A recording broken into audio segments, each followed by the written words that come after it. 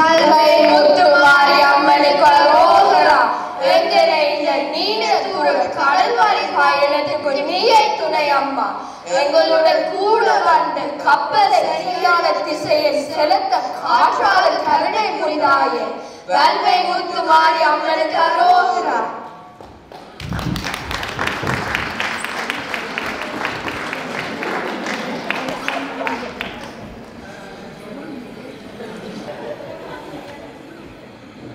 ಸಾಡೆ ಗಂಟೆಗೆ ಏನು ಮಾಡೋದು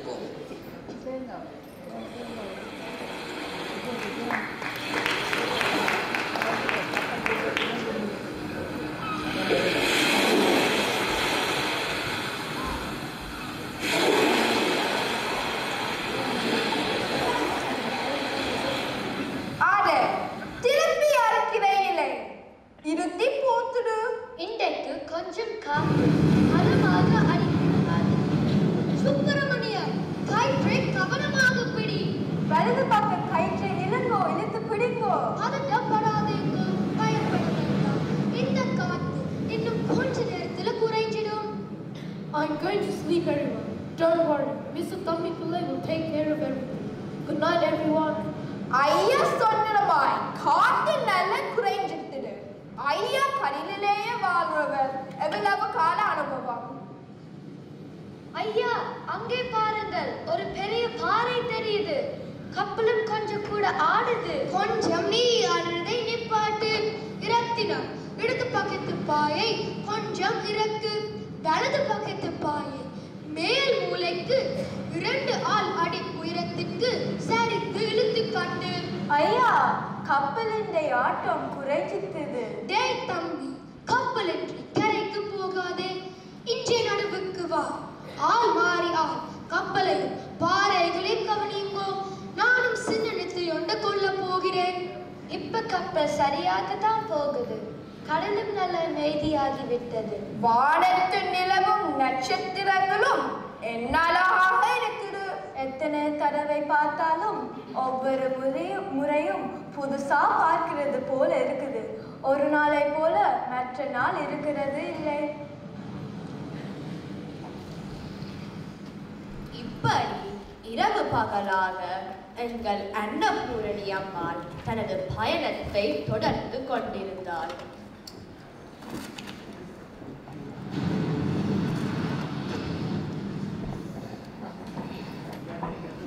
இன்றைய பொழுது இனிதே விடிந்து விட்டது நாங்கள் அதிலிருந்து தூரம் வந்து விட்டோம். நாங்கள் ஏறக்குறைய இரண்டாயிரம் மைல்களை கடந்து விட்டோம். கடல் பயணம் எதிர்பார்த்த விட கொஞ்சம் சுகமாகத்தான் இருக்குது. அங்கே பாருங்கள் துறைமுகம் தெரிகிறது.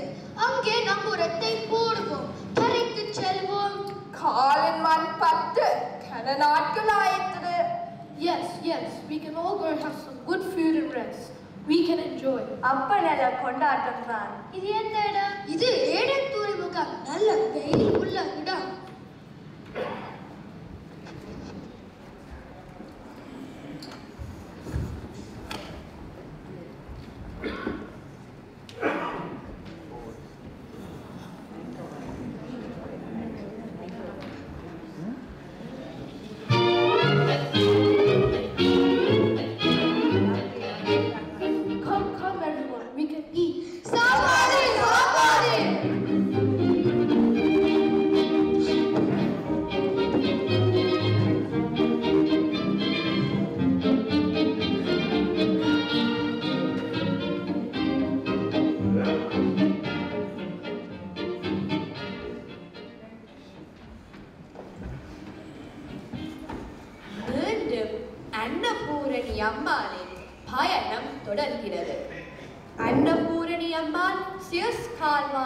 கடந்து கம்பீரமாக சென்று கொண்டிருந்தார் சுயஸ் கால்வாயை கடந்து மூன்றாவது நாள் அந்த பயங்கரத்தை தாம் எதிர்நோக்குவோம் என்று கப்பலில் இருந்த எவரும் எதிர்பார்க்கவே இல்லை. ஐயோ காத்து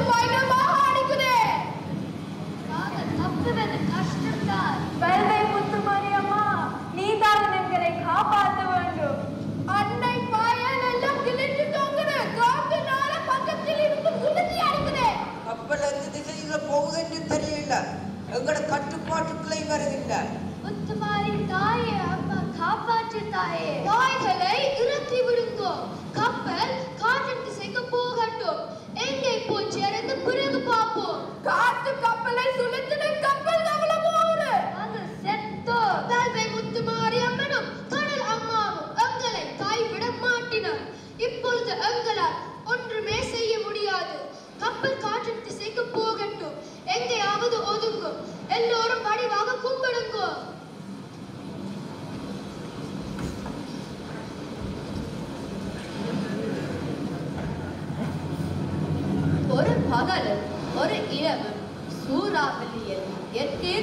இயற்கையின் இழுபட்டு இறுதியில் ஹைமா என்ற இடத்தை அடைந்து நெடுமூச்சு விட்டனர் நம் சரித்திர நாயகர்கள்.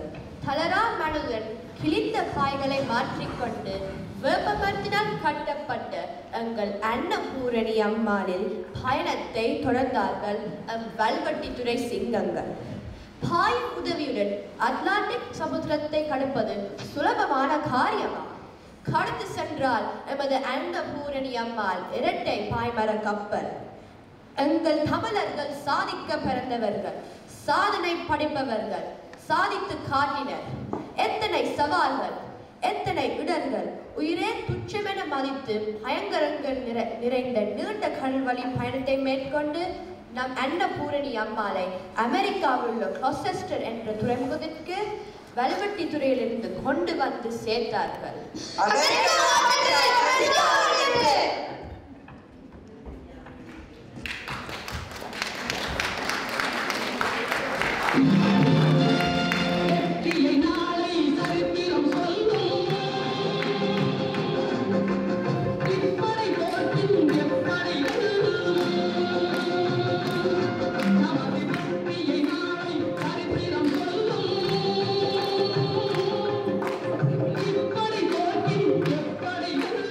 சிறார்களுடைய இந்த நாடகத்தை நீங்கள் பார்த்து மகிழ்ந்திருப்பீர்கள். அருமையான தமிழில் பேசுவது மட்டுமல்ல அவர்கள் எங்களுடைய வரலாற்றை ஆவணப்படுத்தி இருக்கின்றார்கள் மாவீரர்களுடைய குடும்பங்கள் நாட்டிலே பல பகுதிகளிலே இன்னும் வாழ்ந்து வருகின்றார்கள். பல தேவைகள் அங்கே இருக்கின்றன. மிகவும் சிரமத்திலே அவர்கள் வாழுகின்றார்கள். கணவனை இழந்த மனைவி பிள்ளைகளோடு தன்னுடைய அன்றாட வாழ்க்கையை தான் எப்படி கழிப்பது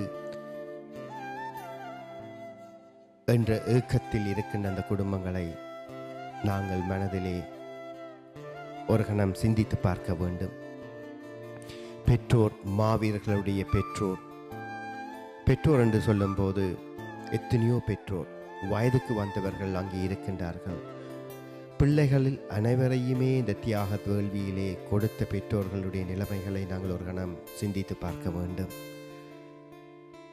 அன்றாடம் கூலி வேலை செய்து தங்களுடைய அன்றாட வாழ்க்கையை அவர்கள் சந்திக்க வேண்டியிருக்கின்றது. ஒருவேளை உணவுக்கு கூட அவர்கள் பணமில்லாமல் வெறும் தேத்தனி குடித்து வாழுகின்ற பெற்றோரும் அந்த தாயக பகுதியில் இன்னும் இருக்கின்றார்கள். அவருடைய எதிர்காலம் எங்கே போகப் போகின்றது? அவருடைய எதிர்காலத்தை பற்றி நாங்கள் சிந்திக்கின்றோமா? இவர்கள் யார்? இவர்கள் எங்களுடைய பெற்றோர்கள் தானே. அந்த பொறுப்பை ஏன் நாங்கள் இன்னும் எடுக்கவில்லை?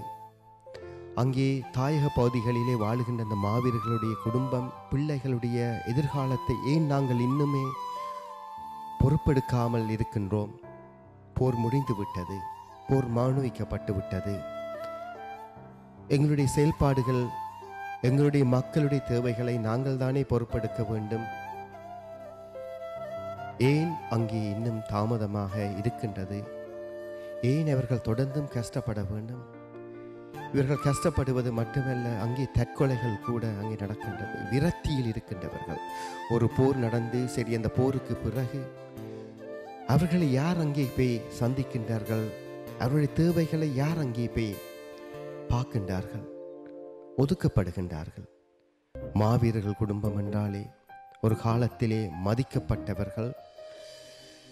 இன்று அவர்களை போய் பார்ப்பதற்கே அந்த சமூகம் பயப்படுகின்றது.